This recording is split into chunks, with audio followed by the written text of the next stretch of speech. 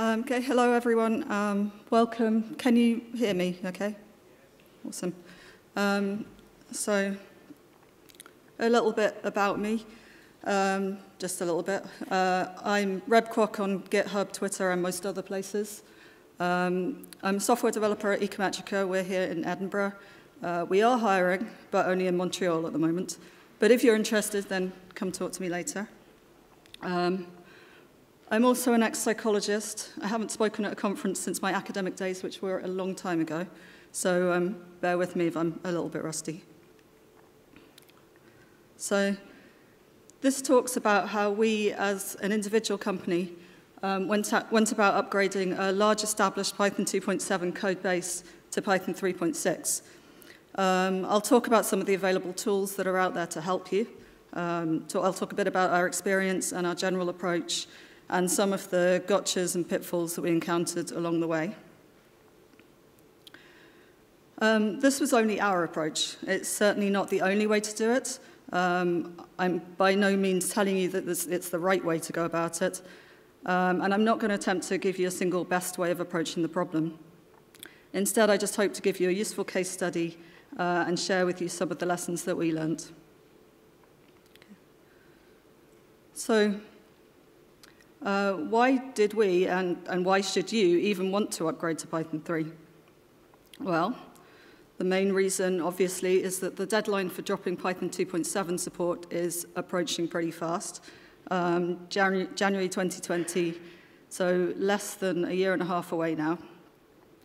Major projects are also either dropping or planning to drop support uh, for Python 2. Um, including Django, NumPy, SciPy, Pandas, but there are lots of others. Um, so in the not too far off future, you're going to be stuck with old versions that are only being bug fixed if you're lucky, um, and you don't get any new features. Um, so in terms of motivation to upgrade, that's the stick. What's the carrot? Why should you want to embrace Python 3 rather than just grumbling about how annoying it is you're being pushed into it? Um, that would and, and has filled at least another few talks. Um, so I'm just going to touch on a few highlights here. There's, I've got some references at the end of the slides that go into more detail if you're interested in that. Um, so first there's that Unicode thing. Um, so Python 3 gets rid of the overloaded string type where objects can represent either textual or binary data. Um, this link here is a nice description of how it came about, uh, why Python 3 largely exists to fix that.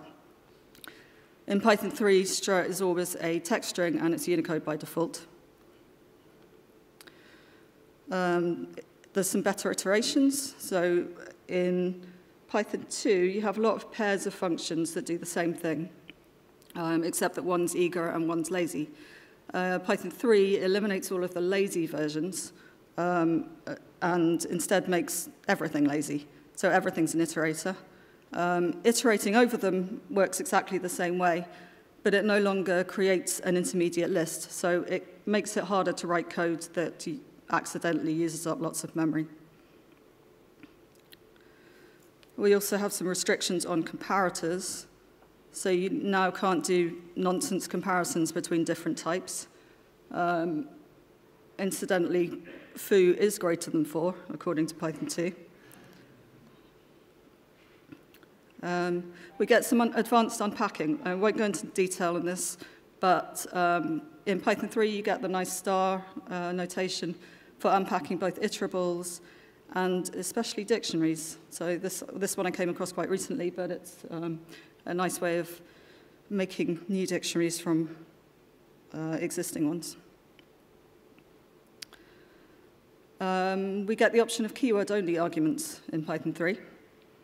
So this is a function with two positional and one keyword arguments. This is how we would do it in Python 2. Um, and any of these three methods of calling it would be valid, but they might not do what you expected them to. Uh, you can use the same definition in Python 3, but you can optionally add this um, star argument, and that means that the keyword argument that follows it has to be called by name. So now, only that first method of calling it is valid. Um, so when you use keyword argument, keyword-only arguments, uh, you can avoid accidentally passing too many arguments to a function and then having them misinterpreted um, as, the, as the keyword argument. Um, F strings are awesome and are totally the reason to go all the way to Python 3.6 and the reason that we did go to Python 3.6.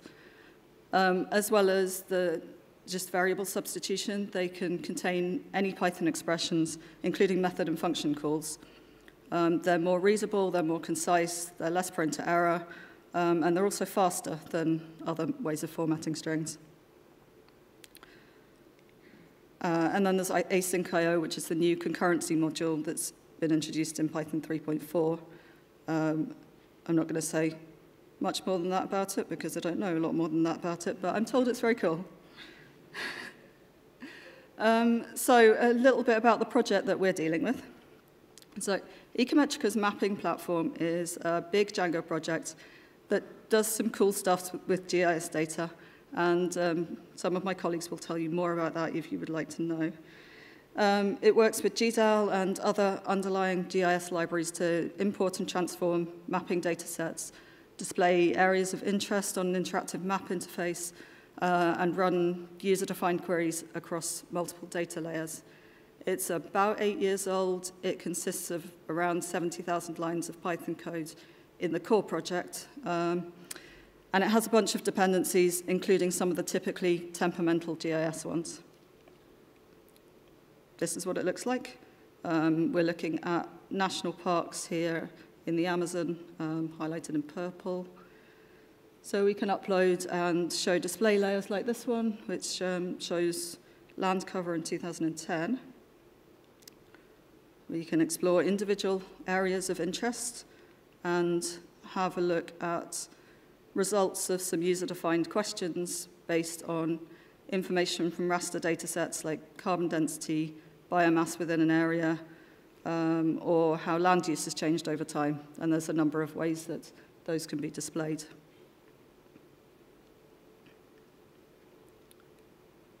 So there are a bunch of useful tools that are out there to help you with your Python 3 upgrade. And I'll take a look at uh, a few of them, but this isn't by any means an exhaustive list. There's, there's lots of help out there. These are just some of the ones that we used. Um, so first up, you want to upgrade your project. Uh, that's all well and good. But what about all your dependencies? Uh, will they still work when you upgrade? Um, and there's a quick way to do a first check, and that's the Can I Use Python 3 package, which does what it says on the tin.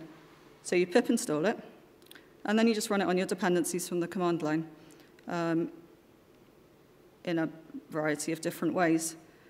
Um, Can I Use Python 3 relies on projects being classified on PyPI as supporting at least one version of Python 3.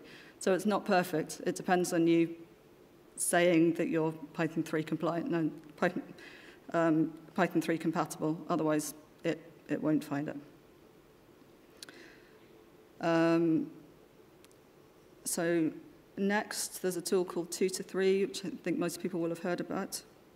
It's usually installed with the Python interpreter as a script, and it reads Python 2 code and applies a series of fixes to transform it into valid Python 3 code.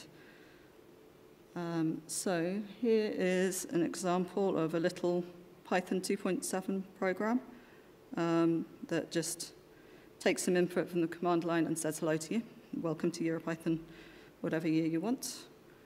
Um, so we just run it from the command line with a list of files or directories to transform. So 2 to 3 welcome.py. And um, 2 to 3 outputs a diff of the fixes that it's going to make for Python 3. So you can see here it's identified uh, print statements um, and the raw input that is changes to input in, in Python 3. Um, and it also picked up the change to the exception um, syntax. Uh, so that's you know, a useful first, first start for us. Um, linting can also help you. So PyLint has a Py3k flag, uh, which will highlight Python 3 incompatible code. So when you run it on our little example program, um, it prints out uh, a list of identified Python 3 issues. Um, note that it identified this one, which 2 to 3 didn't. So it's um, neither of them are perfect, and you'd still need to review your code, but they can help. Um, so just briefly, a side note about supporting Python 2 and 3. So our main project, our mapping project, is end-user software. It doesn't need to support external developers. Um, and we were happy to go Python 3 all the way with it. But we did have external dependencies, um, and those need to continue to support both Python 2 and 3. Um, and there are tools to help you with that too. So Future and 6 are libraries that provide utilities for writing Python 2 and 3 compatible code. Modernise is built on top of 2 to 3. Uh, it's used in a very similar way to 2 to, 2 to 3, but it's more conservative. So it uses 6 to try and fix up code to be both Python 2 and 3 compatible rather than just changing it all to, to Python 3. Um, Tox is helpful to let you run your tests with specific environments. Um, so you can make sure that your, your tests are going to run under every version of Python that you plan to support. Um, and the Python docs and Django docs um, also have a lot of useful information on porting to Python 3 while still maintaining compatibility with Python 2.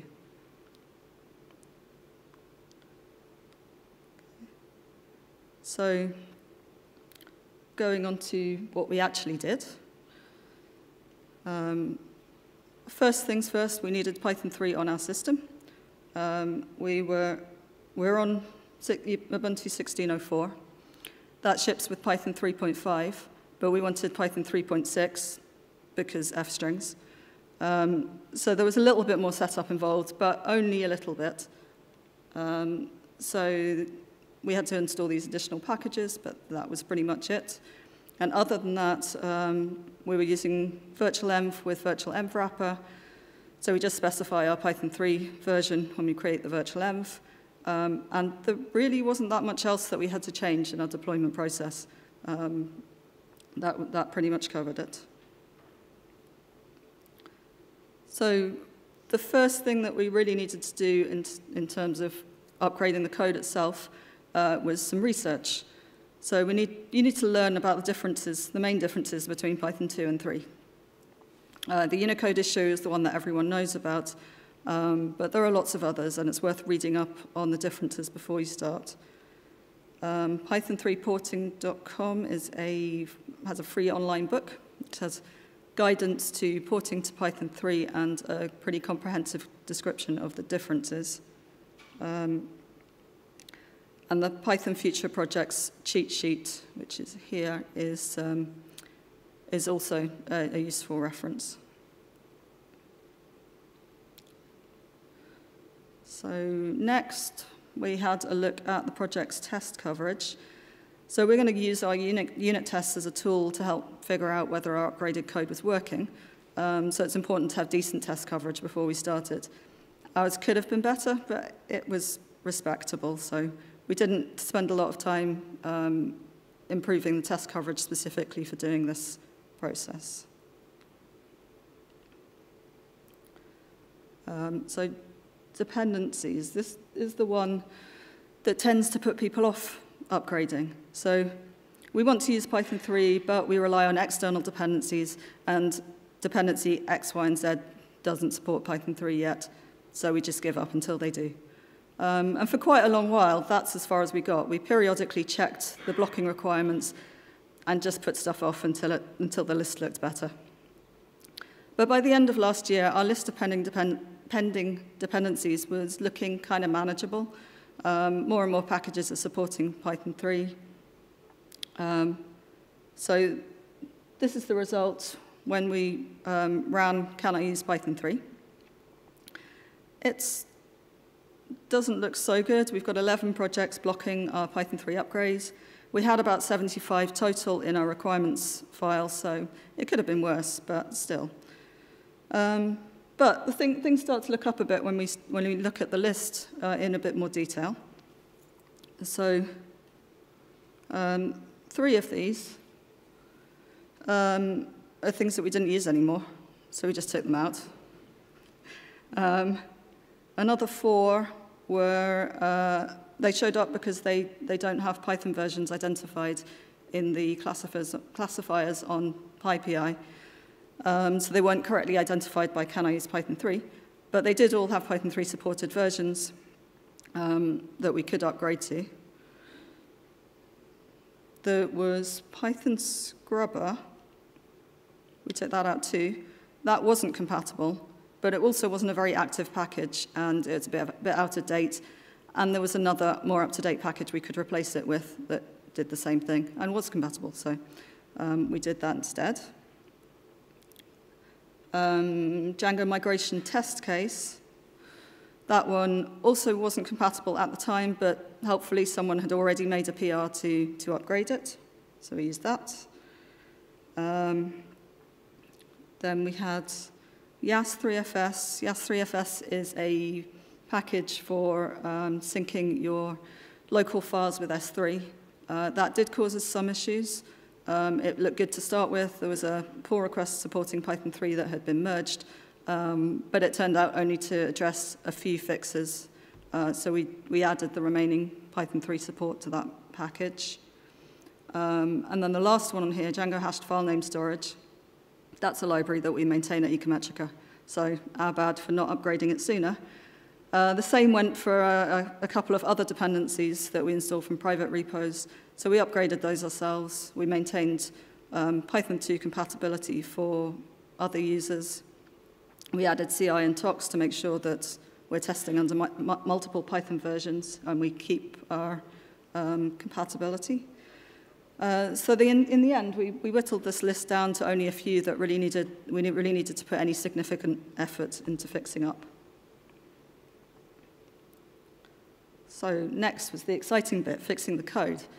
Actually, updating the code is quite a daunting process to start because you know that your, your changes are going to be so widespread throughout the project.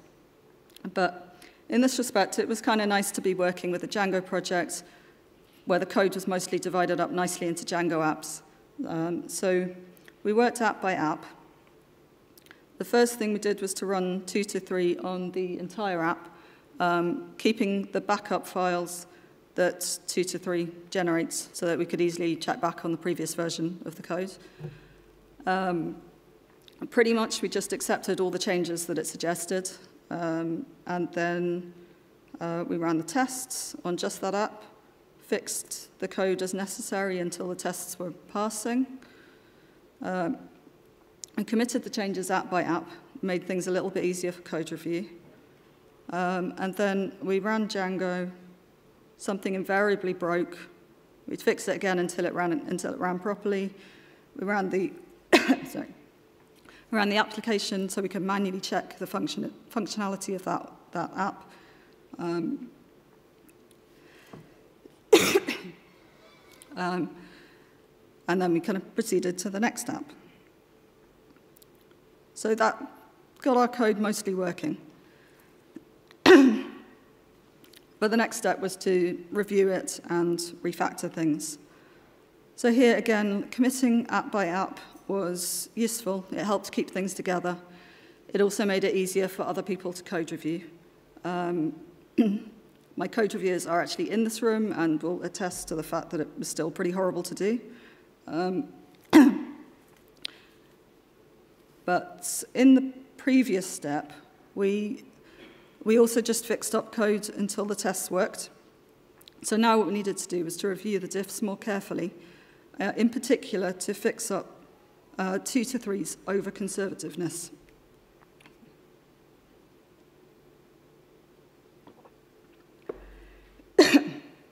So two to three is designed to convert Python 2 code to be valid Python 3 code for any version of Python.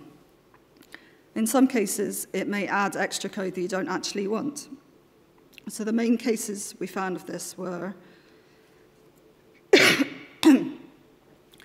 um, converting new iterators to lists unnecessarily. So whether you actually need to convert to a list depends on your current use case. Uh, two, two to three tends to be over-conservative and wrap everything in list when it isn't necessarily needed. It'll also sometimes wrap print statements with extra parentheses, um, especially if you've got print, print uh, statements that have been expressed as functions already. Excuse me. Some help. um, okay. Uh, there's also the specific case of is callable. That was initially removed in Python 3 and reintroduced in Python 3.2. So it doesn't need to be replaced for newer Python versions, um, but 2 to 3 still does it. then we did quite a lot of refactoring. So um, especially places where we've been doing manual byte to string conversions, they sometimes got a bit convoluted um, because we'd just done what was necessary to get tests to pass and get the app running. Um, with a bit more attention, Python 3 generally allowed us to simplify things quite a lot.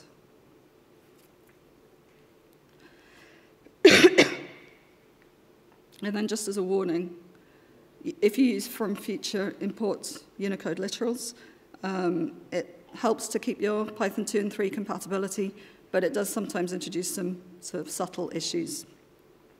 Um, Python Future Project has, has quite a good review of the pros and cons of, of using that for um, two to three compatibility.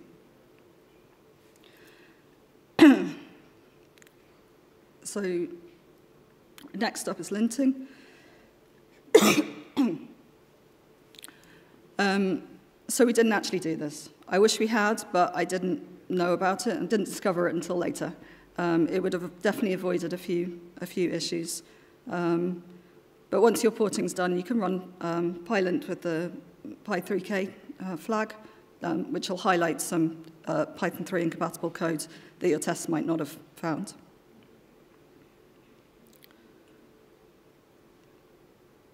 And then user testing.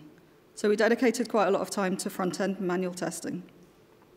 Um, it's tedious, but it did find issues that our unit tests didn't, um, and it's also useful for us to have our GIS specialists who are familiar with the platform data review it and make sure that processed data sets look like they should and queries generated expected results.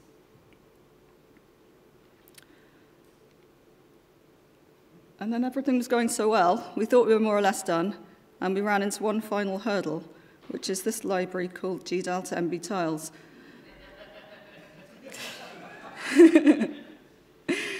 Um, so gdal2tiles is a library that generates mapping tiles from georeference files and lets you display them with a mapping library like, like Mapbox. Um, it has some extra fiddliness around installing.